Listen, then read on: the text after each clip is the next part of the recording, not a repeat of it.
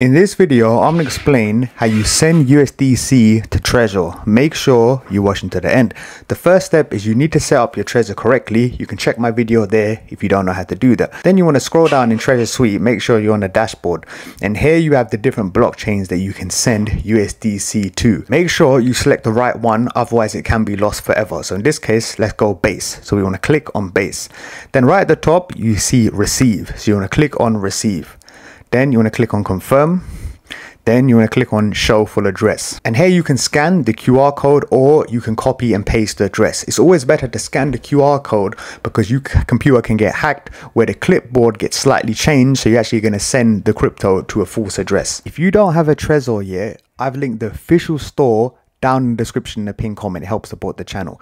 Do not buy from third-party sites like amazon because you don't know if they've been tampered with. It's always better to go official. If you found value in this video please like and subscribe. Thank you